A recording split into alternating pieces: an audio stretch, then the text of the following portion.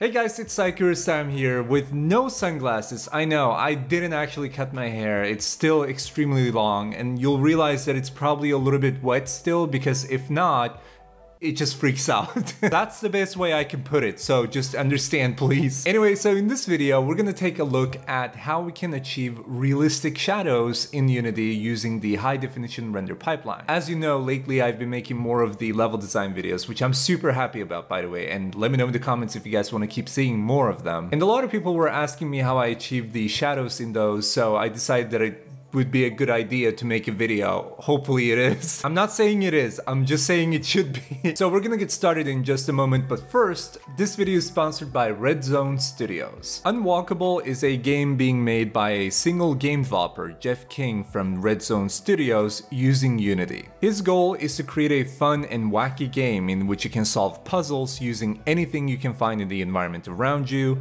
and the game utilizes physics for character animations as well as most in-game game items you interact with. This game is still under development, but it is coming up on Steam, so please wishlist this game on Steam and leave a comment in the forums. So make sure to go to the link in the description after watching this video to see his game on Steam. Now with that being said, let's jump into Unity. Alright, so here we are in Unity 2019.3. I know people have been commenting that I should move on to Unity 2020, but don't don't judge me. I want to be stuck in the past. And I mean, come on, like, yes, I am stuck in 2019, but look what happened as soon as we entered 2020. anyway, so enough of the drama. Basically, we're running Unity 2019.3 with the high definition render pipeline, or HDRP for short. And if you want to see a detailed guide on how you can get started with HDRP, feel free to check out the video that's linked in the description.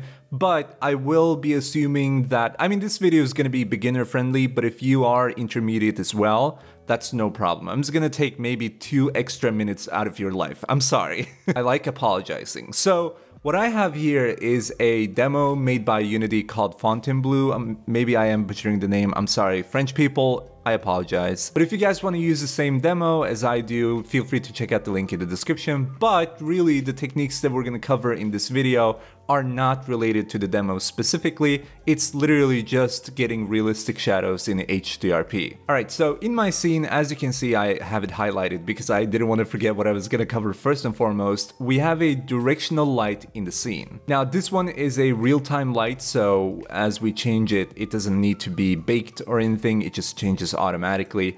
But as you can see, we don't have any shadows in the scene, so it just looks a little weird right now. And as I promised, because I'm a very responsible YouTuber, if you are new and you don't know how to get a directional light into your scene, you just go to game object light and then you pick the directional light. In the built-in render pipeline, if you guys have been using Unity for a while, you'll remember that in the built-in render pipeline, it was kind of just a little toggle for shadows. Whereas now you have a bit more organized structure in the inspector window. So at the bottom, you will see that we have a field called shadows. So let's go ahead and untoggle that. Untoggle? Unfold, I think is the right word. So the first time I saw this field, it did confuse me just a little bit, but basically the way it works is that you first and foremost enable shadow map, which now it looks better than before. And then you can set a update mode as in terms of how frequently you want this to update. So if you change, I mean, if you have it on every frame and you change your lighting's direction,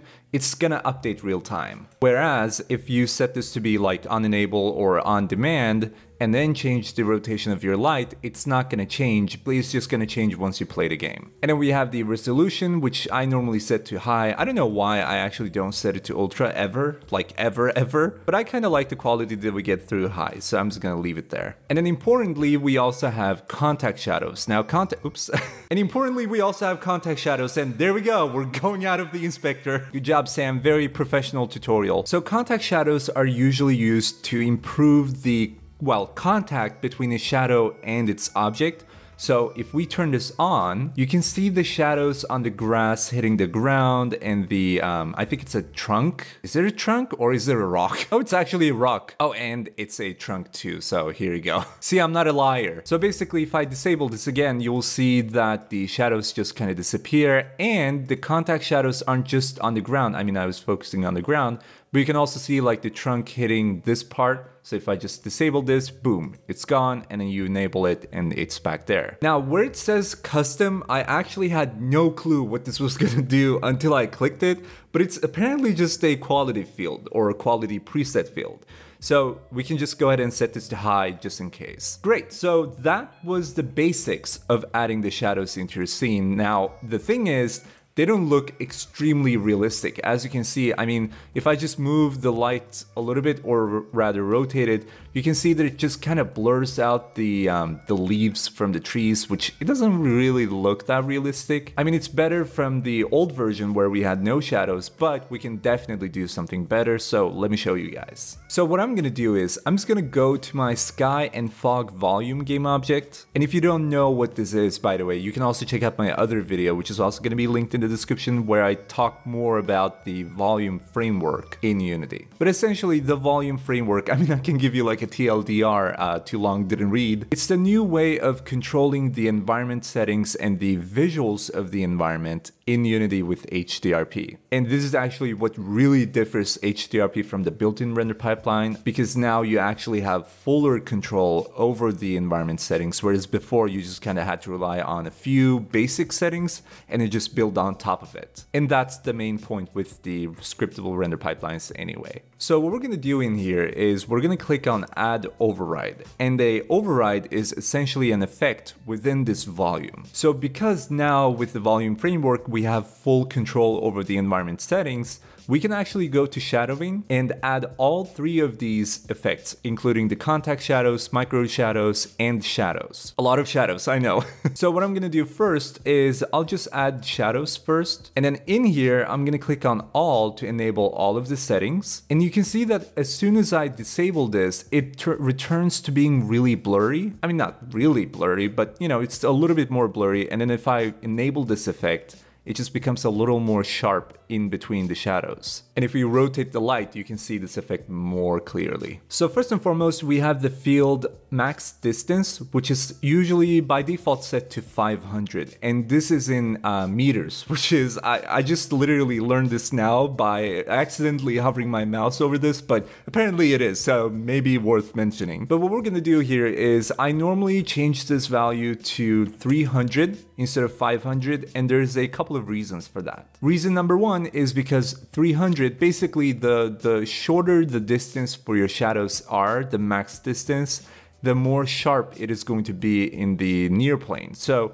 what I mean is if I just undo and redo, as you can see, I return to 500, it becomes a little bit more blurry. Now, if I go back to 300, which is the new value, you can see that it becomes more sharp now. So 500, 300, 500, 300. I know I'm very professional. So that was reason number one. Reason number two is because usually you don't really need to render that many shadows as far out as 500 meters, which I don't really, you know, unless you're making like a big landscape where the, the maybe the player stands on top of a mountain or like a cliff and they're looking down on like a city or whatever then maybe you may have a you know longer distance because you don't really have to care about the short distance shadows then. But for a forest scene like this where the longer distance is pretty much blocked out by trees and grass and foliage anyway I don't really need 500 as a distance. So I rather put the focus on the shadows that are near to my camera. So I'm gonna go ahead and fold up the shadows override but next up we're gonna add one more and this time let's go with I don't know, maybe contact shadows? Honestly, don't ask me about prioritization. so we're just gonna go ahead and enable this. And the reason we are adding the contact shadows override, even though, I mean, if we disable this, there are still contact shadows like you can see on the grass here, or not grass, leaves or foliage. But when we enable this, you can see that there are just a few more details, like I can, you know, disable, re-enable, and there are just more details that are visible to the eye now. But what you might be interested in here is the length factor factor because if you make this shorter, the shadows are actually going to be more visible to the object specifically,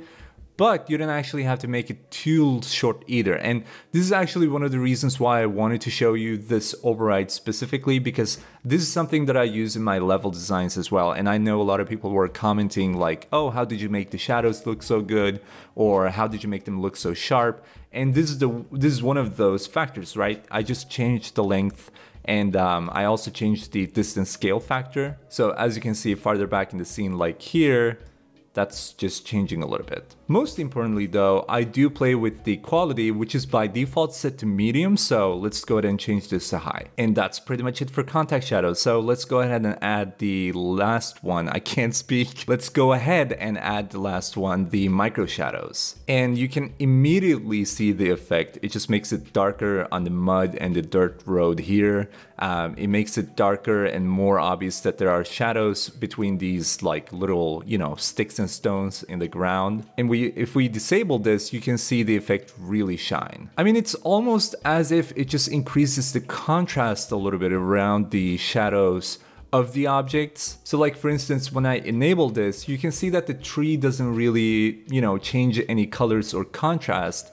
but the ground really gets a big difference. And I feel like that's the beauty of it. And you know, we can also go to like a specific object like these rocks here, and you can see the grass, the foliage right here, get a big effect from this as well. And also the opacity of the shadows increase a little bit too, like, eh, you know, farther back into the scene here. If I enable this, you can see that the shadows of the trees here are way more clear now, whereas before it just had a lower opacity. And speaking of the opacity, you can also change that, so if you feel like that's too much, you can change the opacity of the overall shadows as well. I feel like this opacity as set to be 1 is a little too much, so what I normally do is I just decrease it until I can tell the um, quote unquote brownness in the in the dirt path here. So that it's not it doesn't look like pitch black but it's actually you know has a little bit of different color to it. One more thing that i would like to mention before we end this video is if we go to edit and then enter the project settings in here right underneath the graphics tab hdrp default settings. So just like the name suggests right it's a set of default settings for the hdrp the high definition render pipeline and in here, you can see that we have a field of shadows uh, with a different max distance set and we also have, I believe we have a contact, oh, micro shadows and contact shadows. That's correct. So the reason why I'm showing this is because the way that the volume framework again works in Unity is that these are just the default settings that you can modify or add on top of. Now the way it works is that if we, like we did in the sky and fog volume, if we start adding overrides, like let's say, you know, in the HDRP default settings window, we have a shadows override, right? And then in the sky and fog volume, we added one more and now this one is overriding the default one. And that's the beauty of it. Because and the reason I'm showing this is because I saw some comments like, you know, oh, you didn't go into the HDRP default settings. Don't you have to change that? Or don't you have to play with the settings in there? But this is the way that the volume framework works, which just makes it so much easier, right? But if you don't want to go for a, you know, specifically maybe a volume, you can also just rely on the default settings and just change them from here. Oh, and one more thing that I received a lot of questions for in my last video was um, how I added shadows or, you know, quote unquote shadows from the trees into the water. So it was just through a reflection probe. So what I do is I just go into game object, enter light, and then go ahead and add a reflection probe into the scene. And then I just center this a little bit towards the water like this. I just need to find it. There we go, there it is. And we can even set this to be real time in the inspector. And then it's just all about increasing the length of this. So I can just be like, you know, and then we can rotate this as well, just like that. And there we go. So now we have a darker water where it's actually more realistic as in terms of how it's reflecting the trees. And obviously looking from afar, it's not really that visible because it's only from this perspective, but once you get closer to the water, you can really see the shades change a little bit and you can see the reflection of the grass and the trees as well, which looks really good. And this is why I'm I keep using this so much in my uh, in my speed level design videos as well. So good job people, you commented on this and I covered in the video. Perfect. This is exactly the relationship that I want to have with you guys. Tell me what videos to make. Tell me what I should do. Give me orders. But yeah, I think this looks really good so far. Um, and this is pretty much all I wanted to actually cover for this video specifically.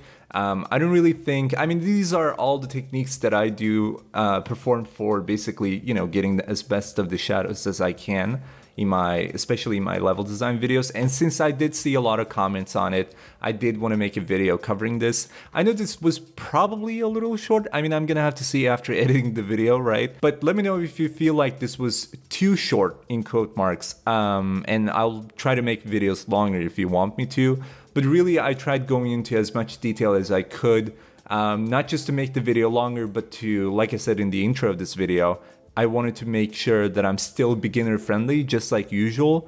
Um, and still, you know, it is applicable for intermediate people, so I don't bore you guys to death uh, by basically teaching you the whole basics again. But yeah, let me know what you think of this format for a video. I think this was a lot of fun to cover, but obviously what really matters is what you think, so let me know in the comment section. Alright, so that is pretty much it for this video. Hope you guys enjoyed this little tutorial on shadows and especially realistic shadows in Unity. It's a topic that I was feeling a little weird about making a video of because I felt like, oh, this could be such an easy thing. But then I remembered when I was getting started with the high definition render pipeline, I actually had no clue how to get these things set up because it's and it's still such a new thing that a lot of people haven't been, you know, actually transitioning into. So I feel like maybe this could help the whole community to actually learn a few things. And hopefully it does. yes, that is the goal of the video, to teach people something. I know it's surprising. Let me know in the comment section if you guys have any other ideas for tutorials. And also, you know, speaking of this, um, I did see a lot of people asking me to make a video on shadows and realistic shadows in my level design videos. So if you have any other topics you would like me to cover, let me know in the comments because obviously that's a very good source of feedback for videos. I mean, clearly I made this, so... I'm just basically saying comment down below what you would like to see in the next video. Gosh, I mix everything so long. also, if you enjoyed the video, make sure to smash like and hit subscribe for more videos. And by the way, we have a Discord server for this community of 21,000 members, I want to say. I may be a little off there. Um, but over 20,000 members, that's accurate. And there's just a bunch of game developers and game designers in there, so make sure to join us by going to the link in the description. I would also like to give a huge shout out to all of our supporters on Patreon, including Kupla, Realtidsverlust. I know I'm probably saying that wrong still. Please teach me in the comment section how to actually say that. Samuel Rivello and the Messy Coder. Thank you guys so much for all of your support on Patreon. And if you are interested in seeing how you could support the channel and support the growth of this channel, uh, feel free to check out the link in the description, which will take you to our Patreon page. And with that being said, ah, I failed to sync, wait. And with that being said, there we go, I'm so proud of myself. Another video has come to an end and my hair is also coming to an end. I have no idea what to do with it anymore, honestly. But yes, thank you so much for watching this video. Hope you guys enjoyed and had some fun. Um, I think it was a, you know, still a needed topic, even though I had this dilemma of, eh, would it be too easy or would it be actually good? Um, hopefully you liked it and obviously once again let me know in the comment section and also let us know if you have any ideas for any more tutorials. And on that, I'm gonna be super active in the comment section so I'll see you guys there. Have a good one and peace out.